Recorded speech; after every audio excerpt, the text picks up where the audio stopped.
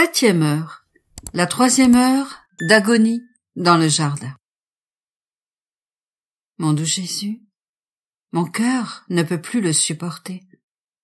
Je vous regarde et votre agonie continue. Le sang ruisselle abondamment de tout votre corps. Vous êtes trop faible pour vous tenir debout et vous tombez dans une flaque de sang. Oh mon amour, mon cœur se brise en vous voyant si faible et si épuisé. Votre face adorable et vos mains créatrices reposent sur le sol, tout maculé de sang. Les créatures vous envoient des rivières d'iniquité et vous voulez verser des rivières de sang pour noyer leurs transgressions dans votre très précieux sang et donner à chaque âme, par votre sang, l'assurance de votre pardon.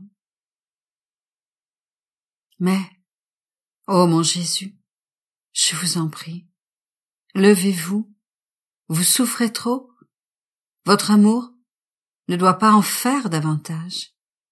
Et alors que mon bien-aimé Jésus semble mourir dans son propre sang. L'amour lui redonne une vie nouvelle.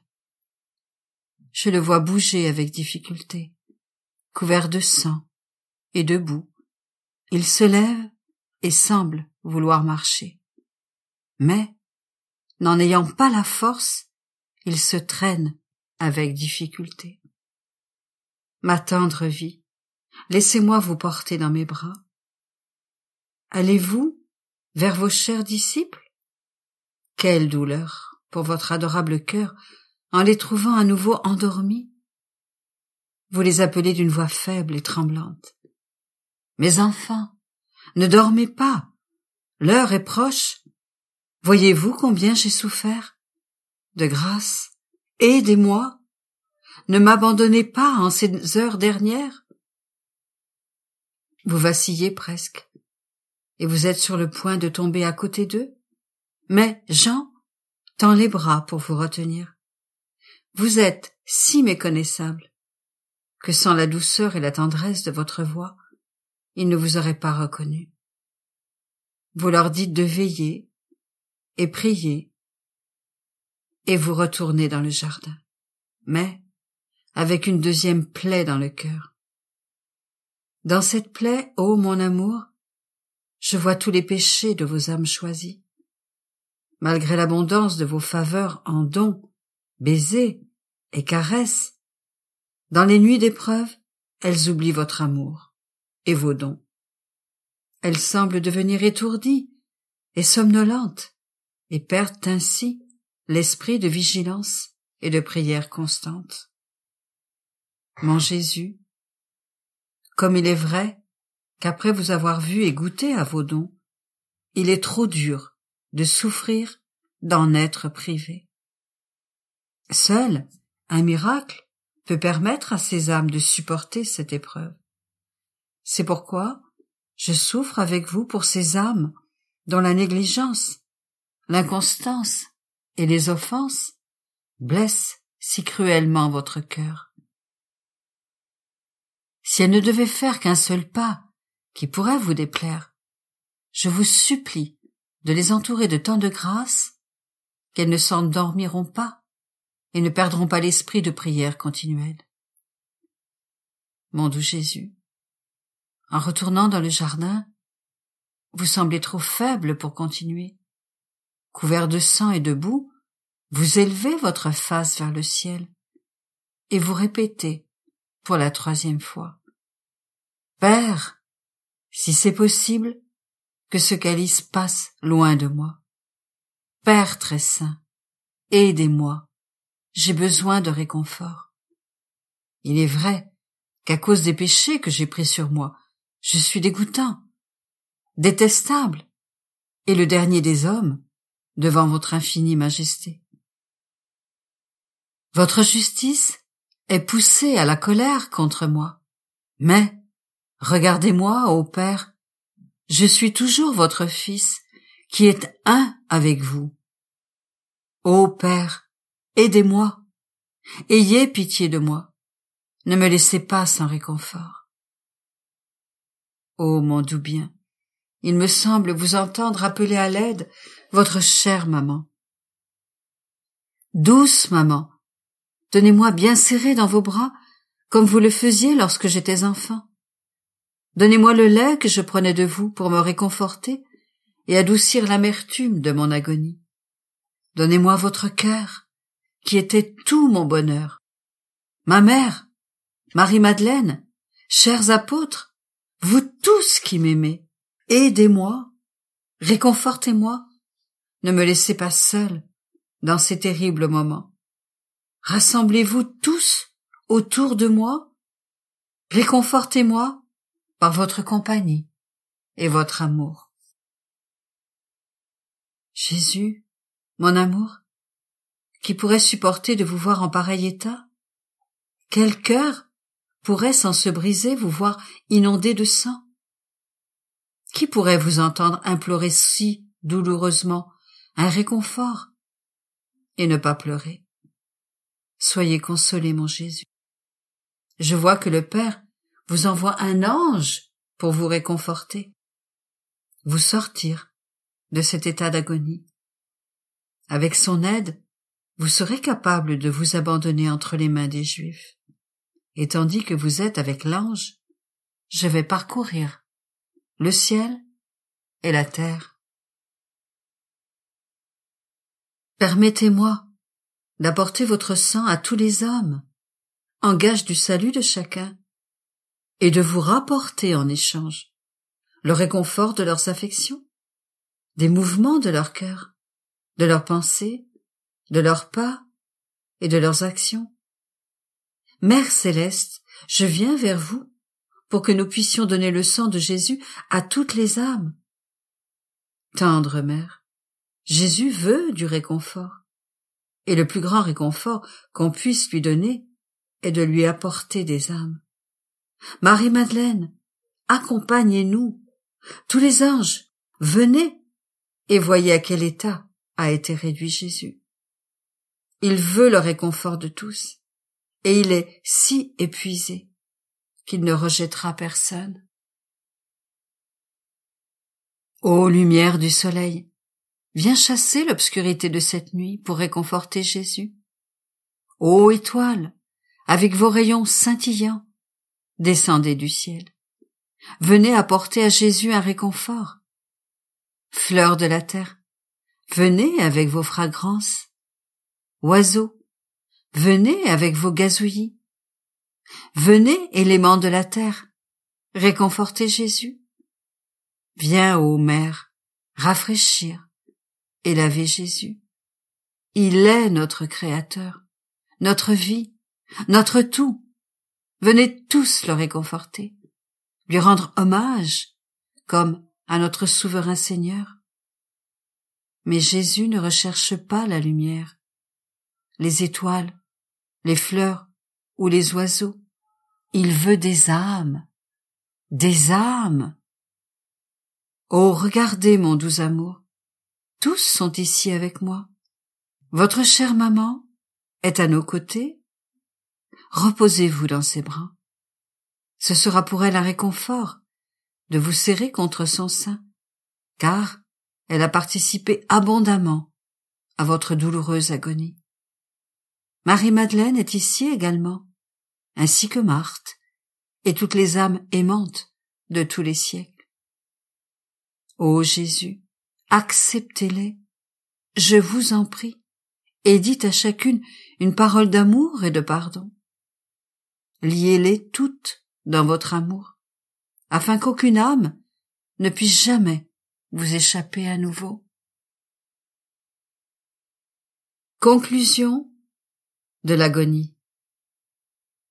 Mais, ah, il me semble que vous dites, ô fille, combien d'âmes me fuient par force et tombent dans une ruine éternelle. Comment ma souffrance peut-elle alors être apaisée Si j'aime une seule âme, autant que j'aime toutes les âmes ensemble? Jésus agonisant, votre vie est sur le point de s'éteindre, et j'entends déjà le râle de votre agonie. L'approche de la mort assombrit vos beaux yeux, et vos très saints membres s'abandonnent. Bien souvent, je n'entends plus votre respiration, et mon cœur est brisé de douleur.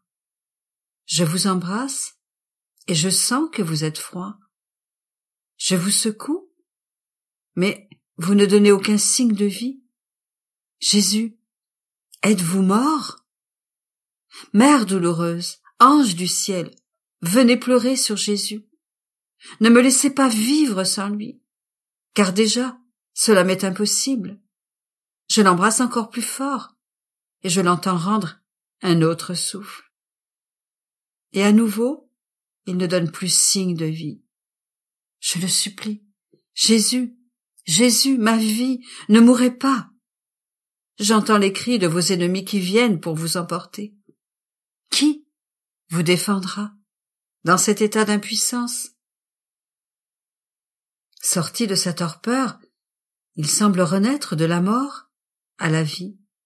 Il me regarde et dit Enfant, tu es ici? As-tu été témoin de mes souffrances et des nombreuses morts que j'ai endurées?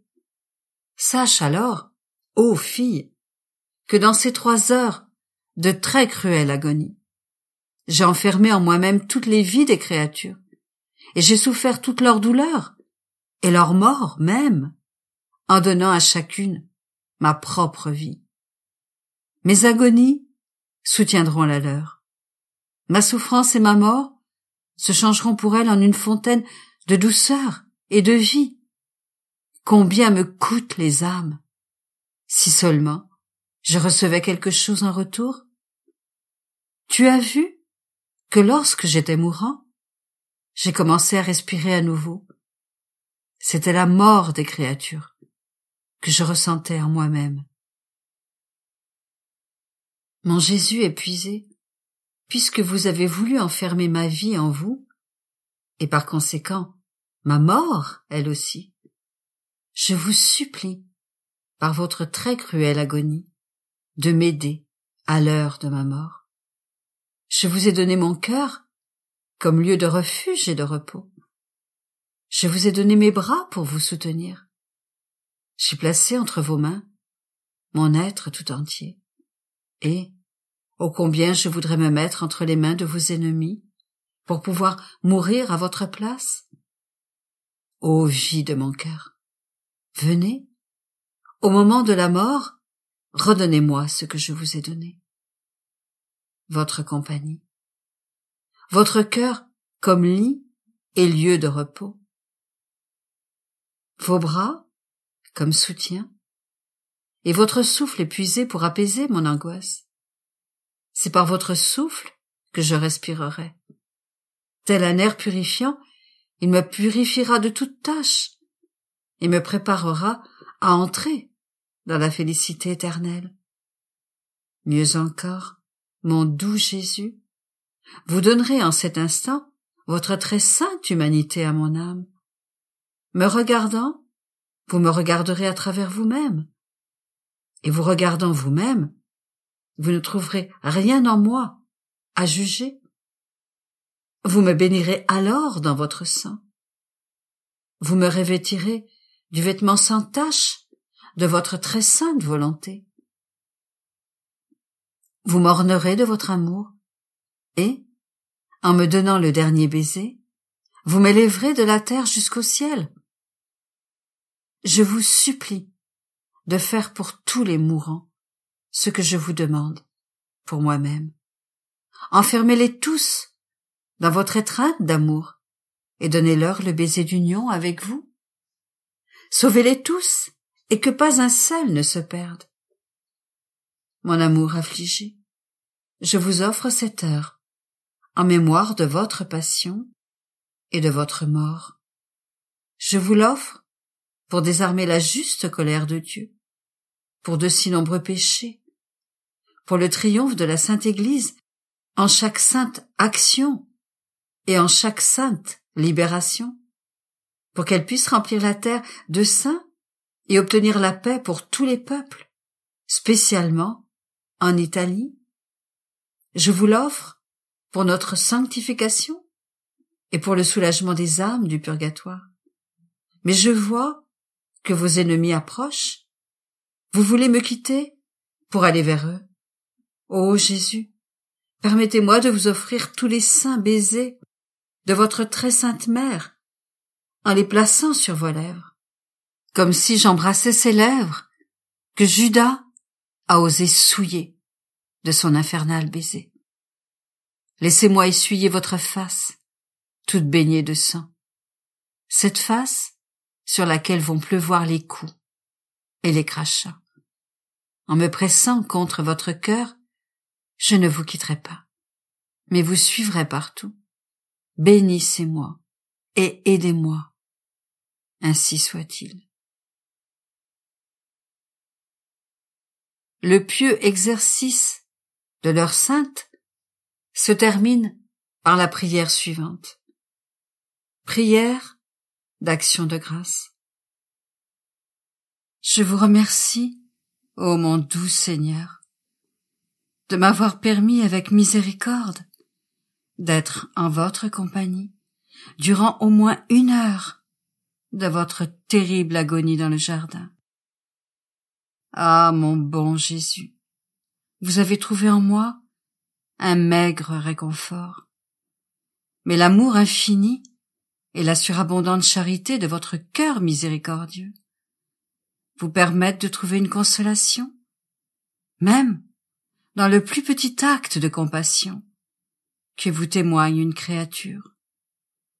La vue de votre adorable personne, gisant tremblante, abattue, épuisée et humiliée dans la poussière, couverte d'une sueur de sang, dans la sombre horreur de Gethsemane, est gravée à jamais dans mon esprit. Mon Jésus, j'ai vu que rester avec vous dans votre souffrance et goûter même une seule goutte de la très cruelle amertume de votre divin cœur est le plus grand destin qu'on puisse souhaiter sur terre. Mon Jésus, je renonce à toutes les choses terrestres et vaines, et ne veux que vous, mon Seigneur oppressé, souffrant et affligé. Je veux être votre fidèle compagnon, depuis le jardin jusqu'au mont du calvaire. Ô Jésus, permettez-moi d'être faite prisonnière avec vous et traînée devant les cours. Faites-moi partager les affronts, les insultes, les crachats et les gifles que vos ennemis accumuleront sur vous. Amenez-moi avec vous de Pilate à Hérode.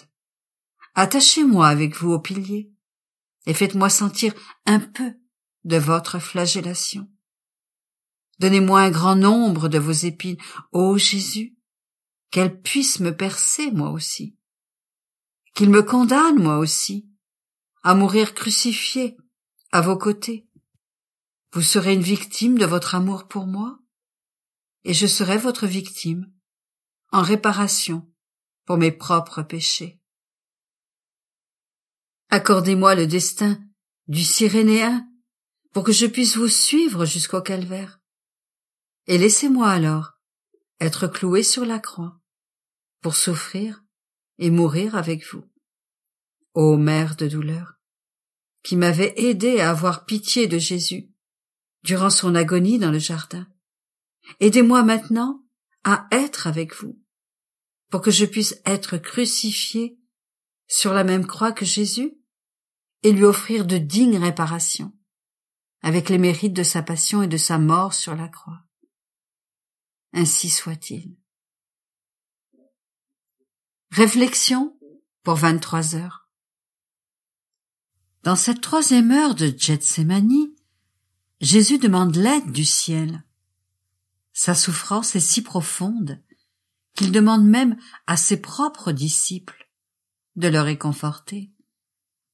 En quelques circonstances que je me trouve, triste ou malheureuse Est-ce que je cherche toujours l'aide du ciel? Même si je recherche l'aide des autres, est-ce que je le fais avec prudence, en la demandant à ceux qui peuvent m'offrir un saint réconfort?